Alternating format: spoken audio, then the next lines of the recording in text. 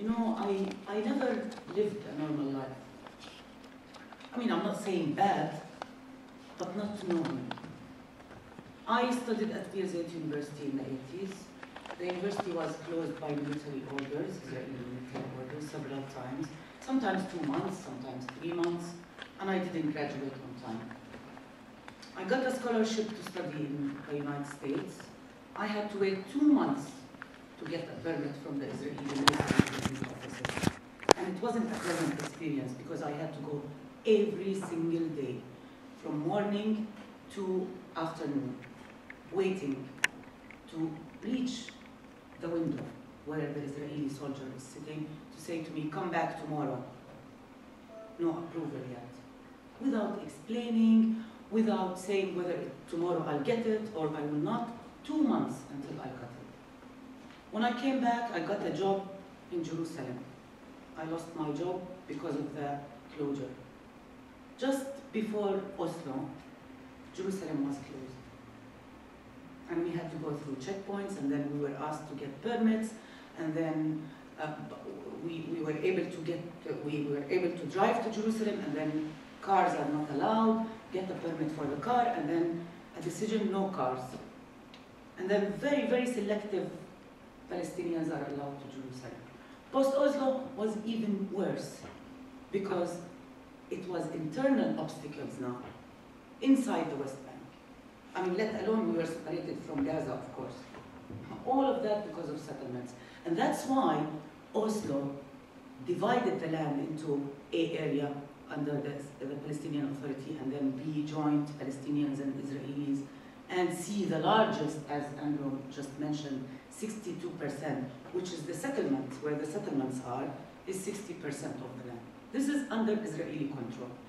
Every single peace talk focus until now, if, I mean now it stopped, but in 2013, the focus was the security of settlements. We have now 600,000 settlers reside in the West Bank, 250 or 250 in Jerusalem, fragmenting the land further. Jews are allowed to use roads that we are not allowed to use. The roads, of course, quicker, more developed, ours dangerous, longer hours. You could be stopped and held at a checkpoint for hours. It, it's, it's not a normal life my basic human rights were revoked and denied. And I'm, not, I'm not talking about myself. Maybe my situation is even better than other Palestinians. I mean, there are Palestinians who suffer even more in marginalized areas and villages and very close to, to settlements. The settlers is turning, are turning the Palestinian, Palestinian lives into a nightmare. They control natural resources. As a matter of fact, settlers the Israelis in general consume six times water used by Palestinians. And if you take a, a, just a, a, short tour uh, in the West Bank, you will see. You will see the developed areas of the settlers, you will see the impoverished areas of Palestinians. And you know what? Yesterday, Beit B'Tselem, a very respectable uh, human rights organization, this is what they stated yesterday. Area C is being annexed de facto. Yes, the, there is some pressure uh, from the US. You know what the US always pressure is, how, is, how the US pressures uh, Israel? Freeze settlements. I never heard dismantle settlements. Only freeze settlements. During peace talks, settlements building continued every aspect of Palestinian life is regulated and under, under restriction. To the extent even love is regulated. You know, love is out of your hands. I, am sure you know that. Or you plan it. How is that? Nowadays, if a, a West Banker falls in love with a person from Jerusalem, as my sister did, and married to a person from Jerusalem, then life is not easy. I mean, she has to get a permit to live with her husband in Jerusalem. If they go visit, because she has a permit now, if she, if they decide to go to Jerusalem to visit family, because his parents live in Jerusalem, at the checkpoint, she's not allowed to stay in the car. she will have to get out of the car, go through that checkpoint, which might take an hour, two hours, doesn't matter. And then her husband meets her after the checkpoint. If she was denied permit, then she will not be able to live with her family. Her husband will not be able to move to the West Bank to live with her because his ID will be confiscated. Because this is what is called by the Israeli law center of life. He would have to, to prove center of life. And they come and check and inspect, inspect. They open the fridge, they see if they cooked today or not, they see if there is milk for the children, they check and see if, if you, if you uh, live there. If you don't, they confiscate the ID. This is the kind of life, this is why BDS is important for Palestinians. I mean, what do, what, what do we need to do with a state where everything is checked and controlled by the, the occupier? We've tried this in, in Oslo agreement. I mean, I, I disagree with that, but I've seen Palestinians giving flowers to the Israeli soldiers. To that extent, they were optimistic. To that extent. And then what happened? The land fragmented more. We are, we are stopped at checkpoints even more. We, I don't see my friends in Gaza.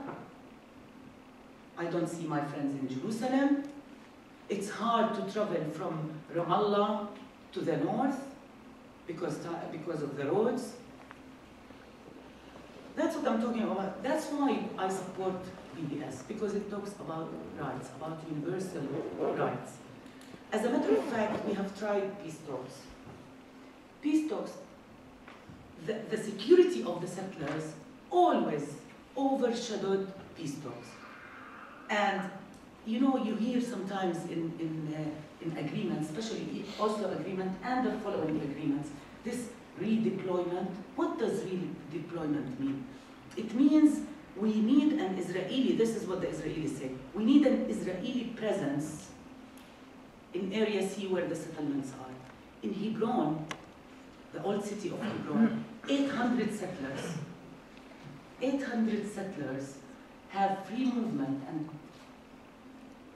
on the other side were Palestinians, 135,000 Palestinians, they restrict their movement because of the 800 settlers. And that's why we have, during Wye River Uh, uh, agreement and Hebron Protocol, the redeployment HA, H2. And the presence of the Israelis in this small part of Hebron is affecting, by the way, Hebron is the largest city in, in the West Bank, is affecting directly those 135 Palestinians and the 150,000 Palestinians in Hebron. When they want to celebrate, if there is any uh, religious uh, occasion, Hebrew people are under curfew and not allowed. There's a street called Shara Shuhada, you can Google it and look. Uh, and uh, actually, uh, later on, they are not allowed to use it, period, Palestinians. That's it. They have to go around, long, long way, even to, to pray in Al-Haram al-Ibrahimi, the Ibrahimi mosque. So it's, it, it, this settler colonial logic, logic should be addressed. I mean, we have hundreds, hundreds of human rights reports, hundreds of UN resolutions. But, I mean, Israel always violates them, always, uh, with uh, granted impunity, of course, uh, from the international community at the same time. So we need an action to, I mean, during the peace talks, let me, I, would like to read you a quote from Peace Now.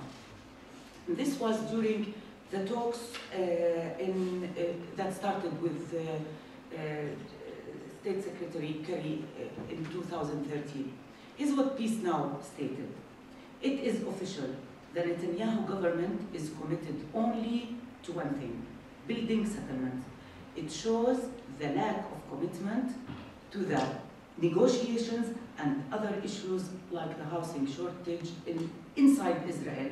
The state has focused the resources on construction beyond the Green Line. It's even affecting Israel itself. And Peace Now, by the way, although it's a peace movement and they monitor, but they are very, very pro-Israeli and they work for Israel. But the increase of settlement, according to Peace Now, from to 123% during the talks. So, I mean, peace talks is not bringing peace. And it's not about peace, it's about change. change. It's about universal human rights that apply to all. And that's why, if, if you are for a normal life for Palestinians, if you believe in universal Uh, human rights, I think you need to vote yes in this campaign. Thank you very much.